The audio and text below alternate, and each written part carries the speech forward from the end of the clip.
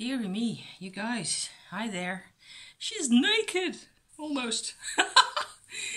it's just that it's over 30 degrees again and it's not even 12 o'clock yet. Um, but I just had to come on because it's on my mind for some reason. And um, so this is just going to be a general uh, chat, I think, about some of my background uh, things that have to do with the subject um, in question. Yes, there it is. Runes. So that's a solar rune right there. So my books, I've got a couple of books right here, and I am watching a channel that's helping actually quite a bit. Uh, Jackson Crawford, who's um, a real academic. Oh God, and it's been such a long while since I had the opportunity to, um, you know, engage with that type of material. So, um, in the order of things, the funny thing is, I dream really. I just want to get that off my off my chest for a bit. I dreamed that I still had my fairly substantial van that I used to drive around in uh, as a delivery person and uh, sales rep for the incense company. Um, only I dreamed of the van. I brought it to a mechanic uh, to have something looked at, and I came back the next morning, and they actually reversed my gearbox inside the van. I don't even think that's possible. But in order to go forward, you had to just, you know, go. That everything was just like 180 degrees around. Silly. So then I was like, for the past half hour, why am I dreaming this? What kind of sense does this make? Other than it links the the van obviously links to the work, to the type of work and the type of atmosphere and the type of um, you know, the atmosphere, the thought process, it's the priorities basically that used to be attached to working there. And then there's what I do nowadays, which tends to be more or less 180 degrees in the other direction. Yes. So, in order to go forward, you know, it's like Alice through the looking glass. It's, it, yeah, it's very confusing. So I thought, on the other hand, other than that fact, which is absolutely a fact, and my life is, you know, I am really focusing and prioritizing, um, you know, getting back in touch with my emotions in ways that I don't care what really has to be done.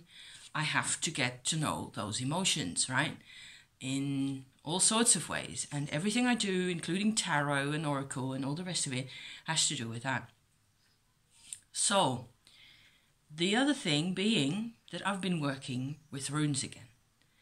It could be that the dream also applies to that and potentially applies to both, even. Because, in a way, what I've been thinking about definitely is the different approaches between the academic uh, working with, you know, historical material and the uh, witchy pagan approach to the same thing. So I've been trying to tell myself that what I know, let me go backtrack a bit first before I finish that sentence. Um, I used to, I, I have studied English language at university in Amsterdam back in the late, middle to late 80s. So that puts it back a bit, right? Before the internet, before the smartphones and all that, I was actually for seven years uh, in university over there. That's where I met my husband, who was also a student of English Lit at the time. And uh, at the time, I was uh, studying to the extent that I was actually doing anything because lazy Leo, you know. Um, historical linguistics. So the development of language as we know it nowadays uh, from older versions and basically studying a lot of texts in Old and Middle English. So Beowulf and that type of thing, you know? I still like that stuff. And I've been wondering, I've been kind of reevaluating what with, you know, books that I apparently still have in my bookcase. Here's another one. They're both in German. Um, these are study works from my last year at university where I actually took up runology. So that's a subject that you can study. I think there was a year back then, maybe it's not even uh, a course they give nowadays anymore. Although it was fairly popular, I don't know, when I was in there, there were at least um, seven, eight, nine different other students other than myself. We had a great professor. It was great. He was a lot of fun, and he knew everything about everything back in the you know about the Vikings and. But that was just one subject matter. Okay, for me, it's been kind of loosely attached to Beowulf and Old English and Middle English texts and mm, the rest of that, and. I've never really because then what happened to me was I stopped all that short and I decided, hang on a second, there's the phone call alarm again in my brain. Hang on a second. That worked. That worked. Hallelujah. So I put the phone on silent mode. So what happened last time won't happen again. Okay? Because ugh, I was in the middle of my, you know, nice, interesting ramble and beep. That's not gonna happen to me again. So, but I can actually pause the recording thingamajig and then press, uh, you know, scroll down a little screen that has the options for um, for the sound or the ringing or the silent mode for the phone. So that's happened. We're going to be able to talk without any necessarily any other interference, okay? From within the machine. Where was I? Um, I shifted to English literature as well because what the problem was with linguistics, the way it was uh, given to us, and what I could tell very soon was there was really, for me personally, there was no future in it. It was disappointing, really, because I had spent, I suppose, four or five years or so of those seven, uh, quite a lot of me was engaged with this very old uh, medieval or even older material. And now, now that I'm sitting here talking to you, and I've been thinking about this for the past 24 hours, I actually realize that my older choices made sense in a way, that there is material in there that I can still do something with, and there was a reason why I picked that subject matter and that those courses back in those days. So, uh, but I had to abandon it because there was no job perspective, hardly any at all, and I was I just wasn't good enough, and I wasn't like single-minded enough, you know. At that level, in order to graduate and get a postdoctorate or whatever type of a really a position, a job of any kind, even just a few hours a week, even, you know, uh, in those fields, in the fields of linguistics, historical or otherwise, um, you have to be utterly single minded. You have to work your butt off, basically, which wasn't really my deal. I was just generally interested, and my academic career, whatever that means, you know, for me, my student career was always marked by the fact that I was interested in everything. I wanted to learn everything about everything a bit.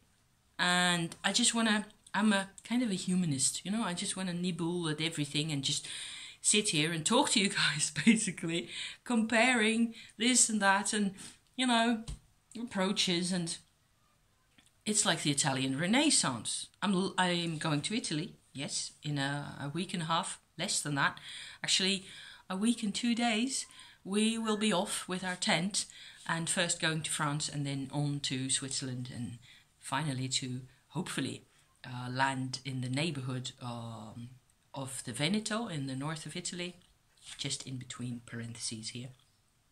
I'll be visiting Venice for probably the third or the fourth time, and I'll be going to see one particular painting. That's my reason for going to Venice. So I'll be probably recording, if I can, I'm not sure that's allowed, I'll be recording a tiny snippet of that and uh, posting from uh, whenever I get Wi Fi, you know, I'll try to post little bits of things from wherever. So, but that closes, close, let me close that parenthesis because it's going to happen. I'm crazy about the Italian Renaissance. I'm crazy about uh, human anatomy. I'm crazy about birds. I love anything to do with nature. So I'm really interested in poetry and all sorts of types of poetry. So, you know, there's no end. I'm a real gobble it all up type of person. So for for the, the, the level of almost fanaticism is the word that comes to my mind. The word you have to to the exclusion of everything else focus on your subject matter and that was never going to happen. So um, what I felt like was that choosing English literature at that point, English American literature, was going to be a lot easier for me. And I was going to be able to get something done, finish the studies, uh, write a scription, you know, um, some kind of a paper, an end paper for my studies, which I ended up doing on Virginia Woolf. That was excellent as well. I love doing that. That was um, that was quite fine.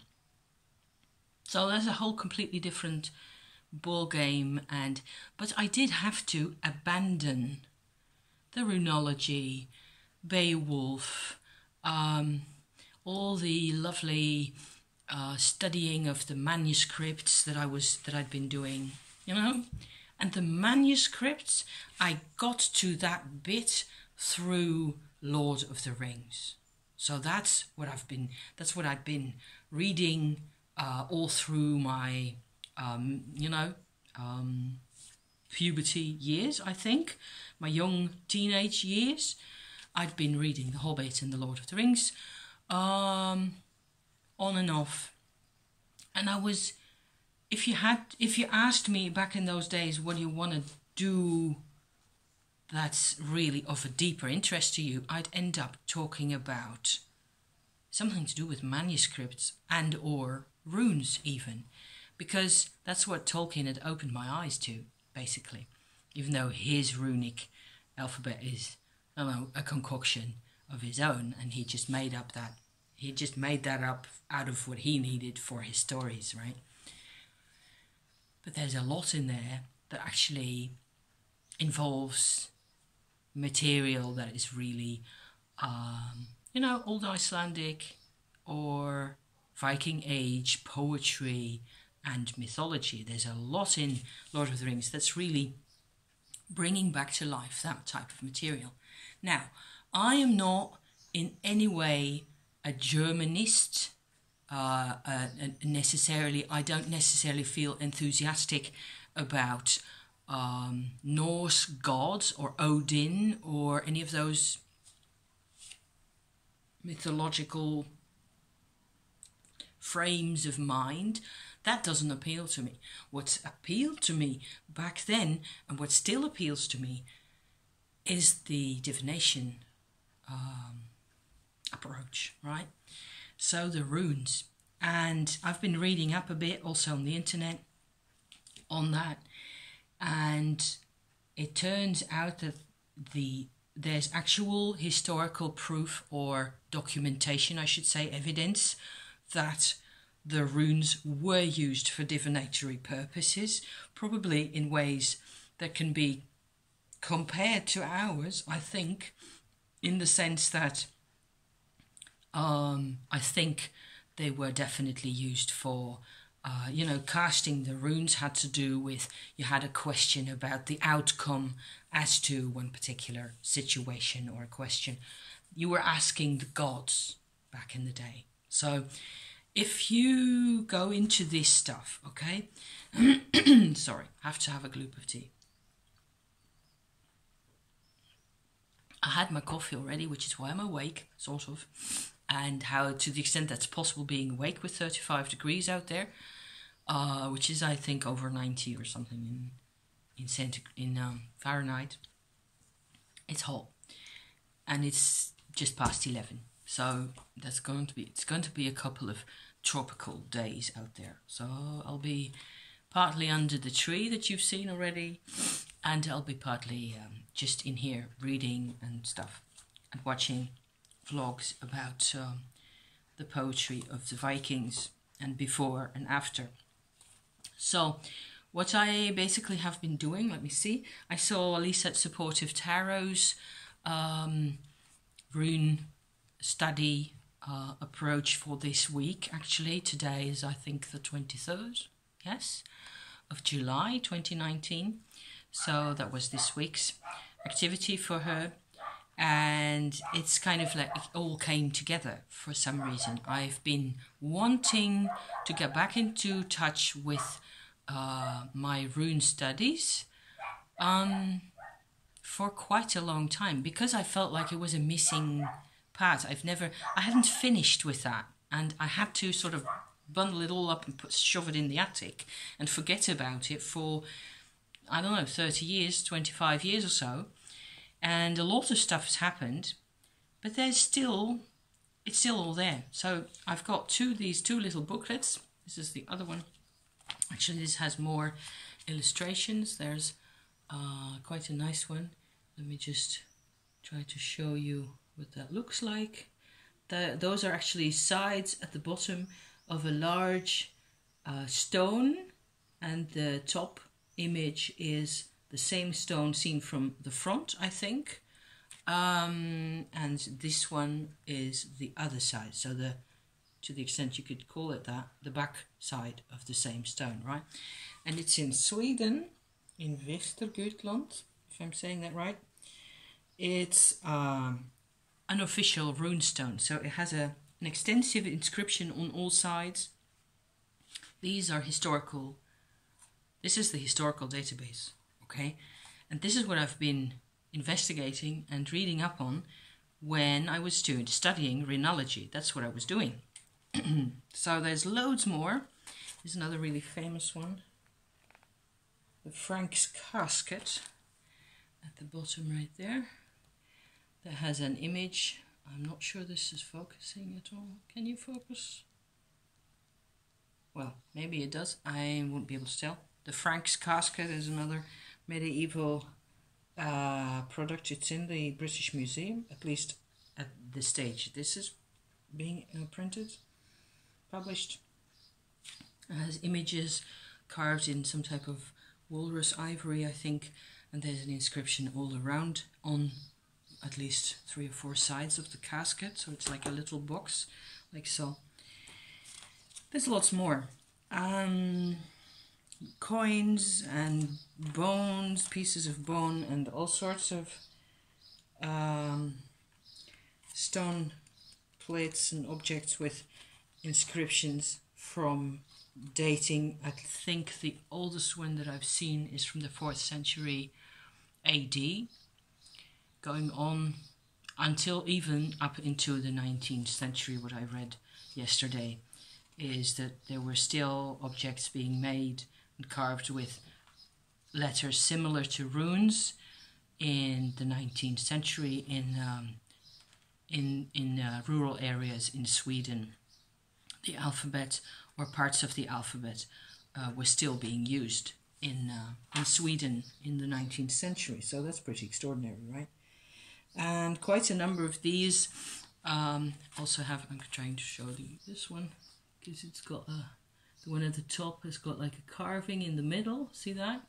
So I'm hoping this will uh, kind of show up a bit.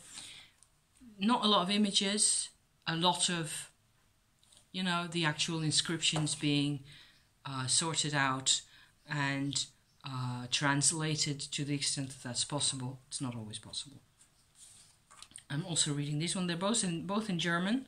So talking about shifting gear, yes. And here's, oh yeah, here's the Franks casket again. I think it's the same image as the other one. Let me try to show you. That one is slightly bigger.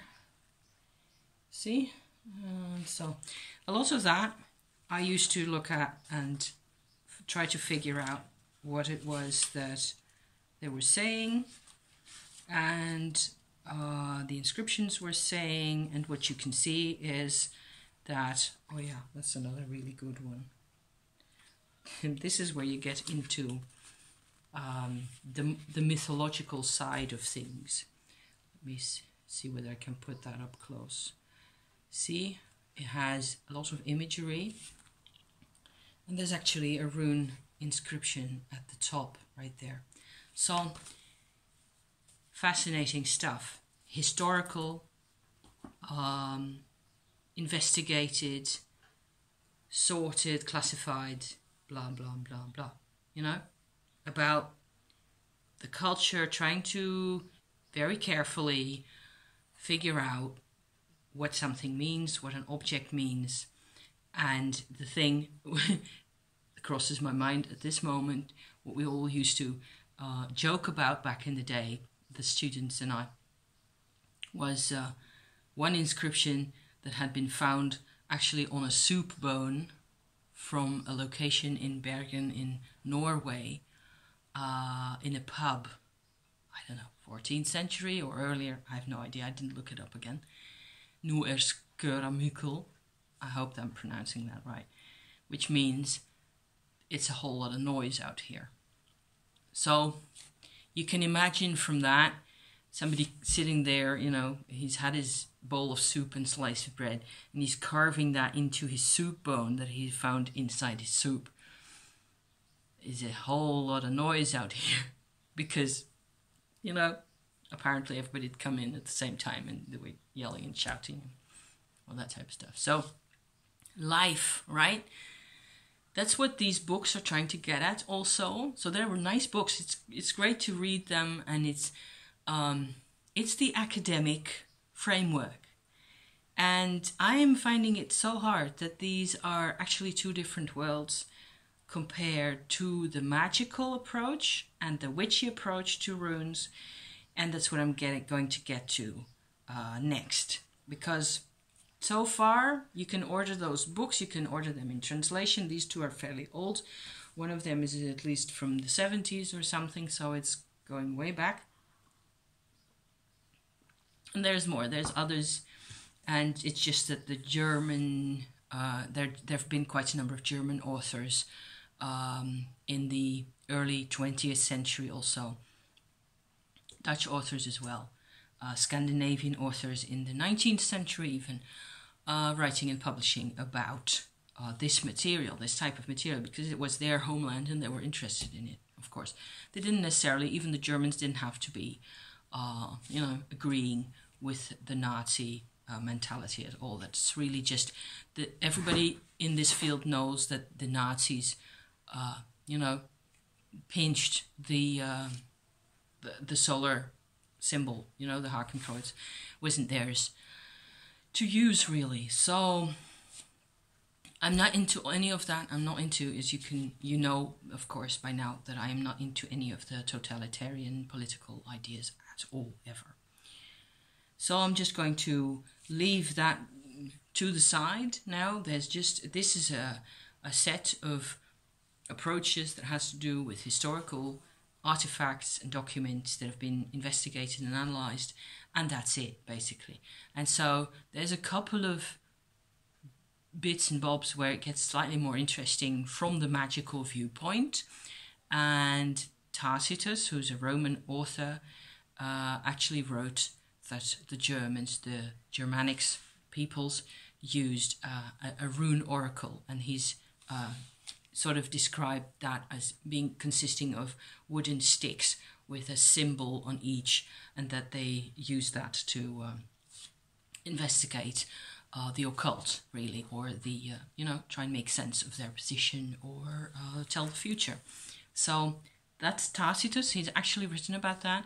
That's actually uh, based in fact and I think a lot of our originally in the in the in the past I don't know 45 50 years or so that the other approach so getting back in some type of you know touch with the uh, occult side trying to that's what I'm doing basically. I'm also trying to reel back in some type of understanding of the runes as a divinatory tool, comparable to oracle, tarot, and witches' runes, which aren't runes at all, or Lenormand, or any of it. And apparently that's been my motivation all this time. That's what I'm figuring out now. It's like everything is sort of falling into place. What I've been interested in, I wasn't.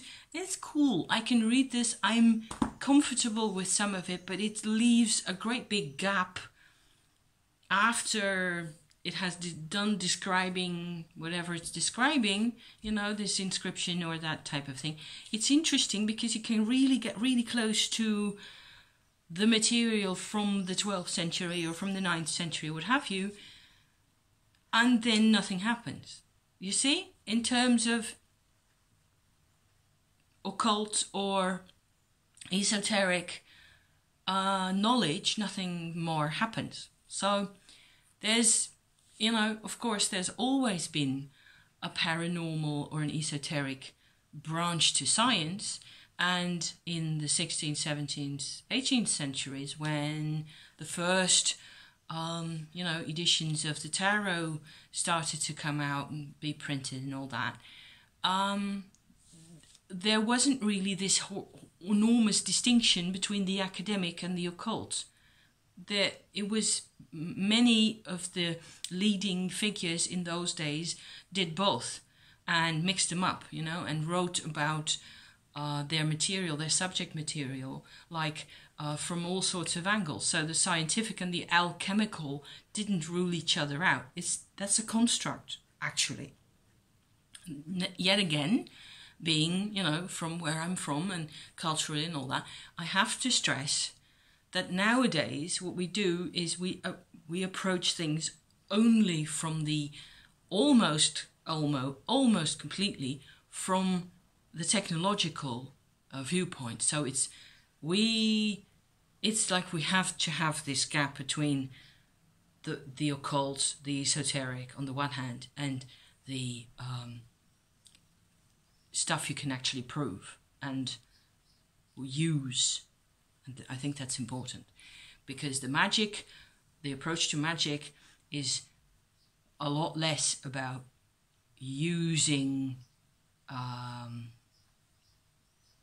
techniques, materials, symbols, etc., and that use being available regardless, you know, available to every single person. Whereas a smartphone anyone can use. You can learn to use it. It's just a couple of simple uh, processes that you have to learn, and then you can use the smartphone. You cannot use an alchemical symbol or a sigil necessarily as easily. So maybe, maybe that's why it's important that all this focus has gone to technology, to science, to analysis, and leaving the other half of the world, our experience basically, by the roadside. So my experience with runes as an oracle, okay, here goes. I have two sets of rune um, pebbles, what you call those, coins, okay. This one is made of clay, it's uh, pottery. I baked them, I made, I rolled them out like that and flattened them slightly and carved the runes into them and uh, this is what that, oops, what that looks like. We had a jumper right there. They're a bit, um, they're not so sturdy. So I have to really be careful that I don't crush them. If I were to fall, let this fall on the floor, I would really crush them to a powder and all be gone. So that's not going to happen. Um, it's basically the same set of runes that I've been using uh, before this. I used to own, and I'm not sure whether I still got them or whether I actually got rid of them for some reason. My first ever set of a rune oracle used to be made of yew wood. And the thing about those was that I just had a set of yew branches, yew wood branches, about seven or eight millimeters in diameter, and I cut that up in little slices. But they were all different because I hadn't made sure beforehand that they would be equal in size and straight and more or less look that they would actually look the same. They were rather different. They were wonky. So I what then happened was that I got this set when my mother passed away. My mother sawed off these, all of them. So it, it's one of the very few actual creative um, things that she was engaged with for a longer period of time, one summer. I don't remember exactly when it was, um, probably in the early 90s somewhere. And so I've got this set um, that are just perfect slices because that's how my mum, once she got around to actually doing something, she went ahead and did it properly. So there's a couple of other things in this set in this bag. There's like uh, some little bits of stone that I can't really identify. There's a couple of these little cute little pine cones. And the rest of it is basically these, uh, see that? That's a Daga rune right there. And this is a yew rune. So this isn't yew wood, this is cypress wood that my mum got in the south of France. And they're actually uh, rather equal, and I'm suddenly deeply honored that I've got them and that I've um, actually got something that she used to, she made. She decided, for some weird reason that I can't explain, she decided that she wanted a set like this. And she spent, I don't know, a couple of days or so, uh, sewing them up really patiently in her way, the way she used to do things, and polishing them on the outside slightly. And that's what I had. There were no runes on them back in that time. So at one point, I decided that I was going to use hers, her sets, rather than my own. I didn't even realize at the time that I wanted that because I wanted to feel her work in my hands. Now I can say that. Now I can tell the difference. And so it's of course it's because I know I was there when she made them, right? So what I did was I used a like a burning wood burning tool that you plug in the socket and it's like a soldering pin. I don't know what you call those tools in English. And I burnt the runes on them. And like this is a Hagal rune like that see? And I put uh, the other uh, sort of the asterisk symbol on each back. So they're really the same and they look really they're really perfectly usable as a as an oracle set. I haven't used them at hardly ever you know so a couple of years ago, maybe two or three years ago, I decided that I wanted another set that was separate from my mother's energy, I think. And that's when I made these, the clay ones, the pottery ones, okay? So I've got these two and that's it. And the other one, the old one with the made of yew wood, I am not sure. I still own that. I haven't seen it, I think, but I'm not sure because I didn't I didn't each time it was like I'm interested in this system. I need stuff to work with the system as an oracle. And then what happened is I started doing that and I did a couple of spreads or I did a couple of casts. And I didn't know what to do with the result of those because I didn't know how to properly interpret the runes as magical expressions of anything because all I had was the runology, the scientific knowledge, the passive, if you will, um, uh, sense of what anything meant. There's another chapter to the knowledge of the runes from the historical viewpoint, and that's the runic poems. If you type that in in Google, you're going to get a ton of info, more than you want, probably. Uh, there's several um, medieval texts, manuscripts, also of the runic poems that have been found.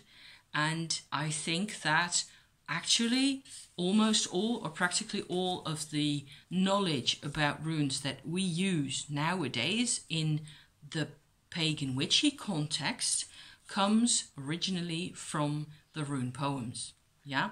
So, but it doesn't state that because who cares? And it's old fashioned anyway.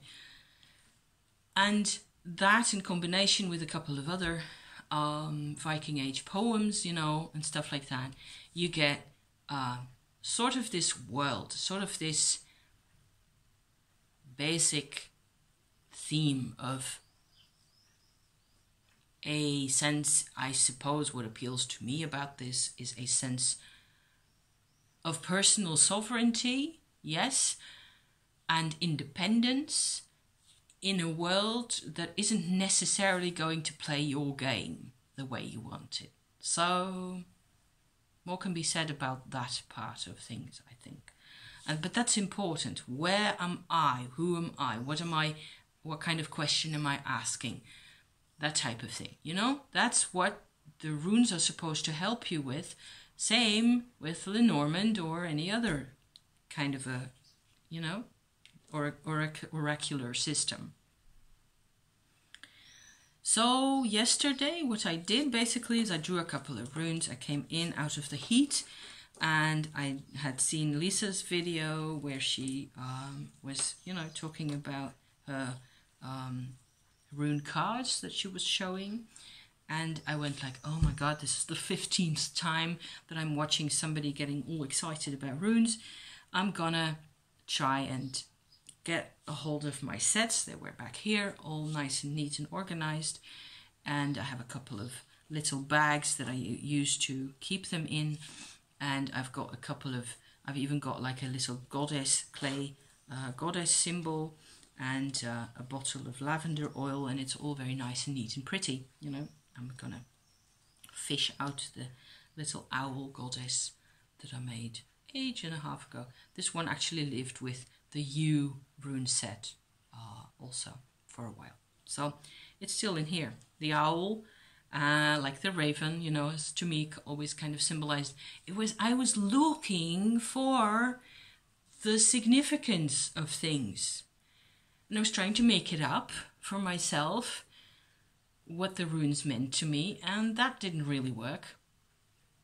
And the historical material I've got is only goes only so far, you know, etc. It's just, it's not really easy. And a lot of the importance of certain runes is based around um, a life that those people used to lead before the Middle Ages, you know, with nature and basically having to fend for themselves, hence the independence idea also, um, surrounded by forces that weren't necessarily on their side.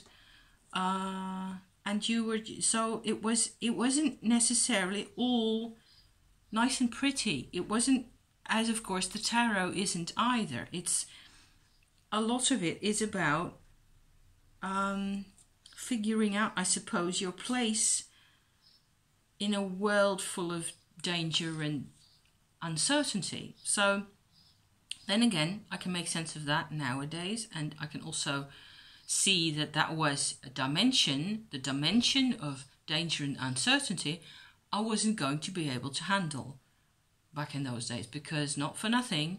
I had to go through five or six years of soul retrieval and completion process work, you know, just sneaking my way through um, a whole lot, a whole pile of personal growth and development before I could actually come back to this. And then, uh, again, what I have is a blank slate. What does the horse, the Eichur rune, mean to me now? What does the sky god rune mean to me now? Is. That's one I had yesterday. So I came in out of the heat yesterday, okay, and I took out my bags of little runes and I took out, uh, I drew out four, four of the runes out of the one bag and set them in a row like that. And it said something like, um, there's flies, you know? it said something like, the sky god uh, is putting a brand in the sun something like that. You can make a, you can kind of string it up into a little storyline or a, a, phrase of some sort. The two, the answer, the god of the sky is powerful and the brand is in the sun. The, the sun is burning fiercely. And it was. then I took out, I pulled out a couple of runes from the other, from my mother's uh, set to sort of see what they would give me, you know. And there was both the brand and the sun symbol coming uh, once more. So it was like they were trying to communicate something to me, something very obvious, really, because I tend to go off into wild, unknown territory, no pun intended. And, and whereas basically I hadn't really got a question, I wasn't really asking anything. I was just trying to see what the runes were telling me. And they were just saying, it's hot in it, you know, something like that, hot and bright. So after that, of course, I had to sort of complicate matters for myself again because it will never do when things are simple. And I sort of tried to focus on what the sky god would actually mean to me. He later became uh, Mars, like a Martian, a war god type figure. That's something I don't relate to in the slightest. Um, maybe I do. I don't know. I don't think I, I like. I don't like a war a warrior imagery in the slightest. It's not my cup of tea. I know that there's places and times where you have to defend yourself, but there will always be like a necessity imposed upon you. And yesterday was otherwise completely peaceful. So, as far as I could tell. So, at least in my life. So I was like interested to see that there's actually the sky, but there's no earth rune, is there? There's the sun as a rune, but there's no moon, as far as I know. You cannot, it's not linked up that easily with, it doesn't make a lot of sense.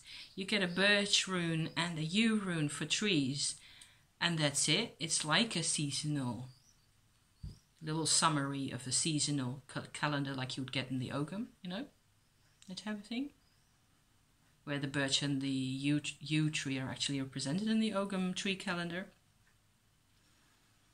And then there's a couple of other symbols. And of course, depending on which rune alphabet you're going to use, um, because, because there's more than one, um, you'll have more choice. But the rune poems that we go to for the original, hypothetically historical meanings and the actual symbolic meanings, that's all we've got it's all we've got is those rune poems, and they're very basic, and uh, they give you three lines each, or two and a half lines, or what have you, per uh, symbol.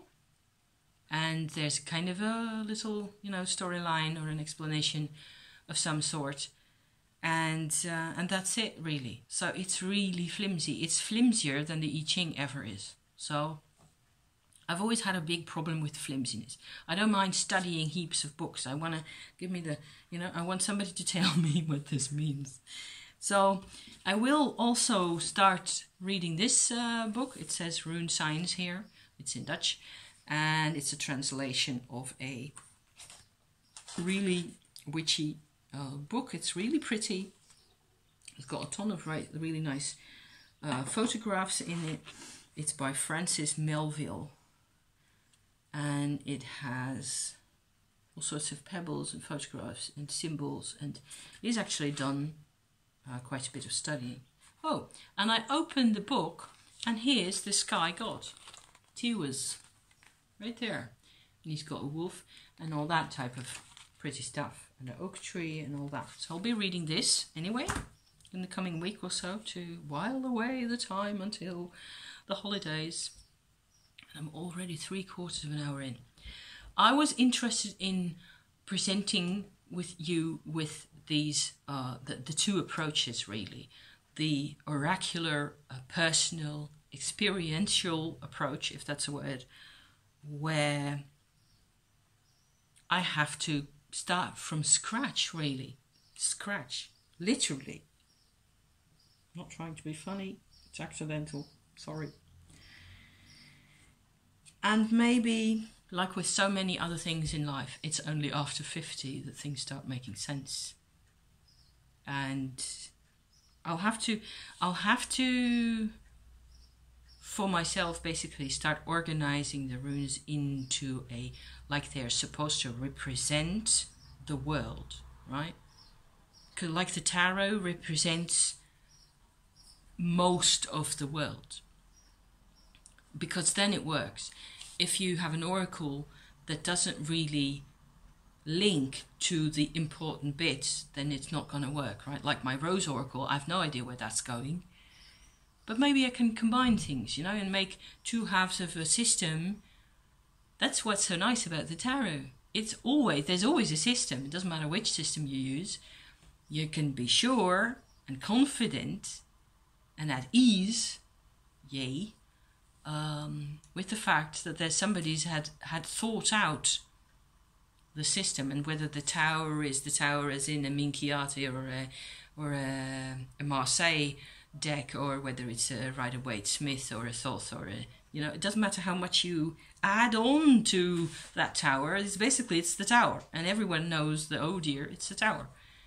You don't really have that with the runes. I don't anyway. So great stuff great fun um, it's hot. It's summer. We're reading and we're uh, trying to also, you know, draw out bits of knowledge and then potentially uh, write it all down maybe at some point and think about things. And uh, I'll report back to you whenever I have something insightful to say about these things. Okay.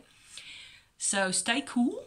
I'd advise and uh, drink enough of water and drink enough, plenty. You know, make sure you're hydrated because I uh, I have to. And um, I'll be talking again to you very soon. Thank you. Thank you so much for watching, you guys. See you. Bye bye.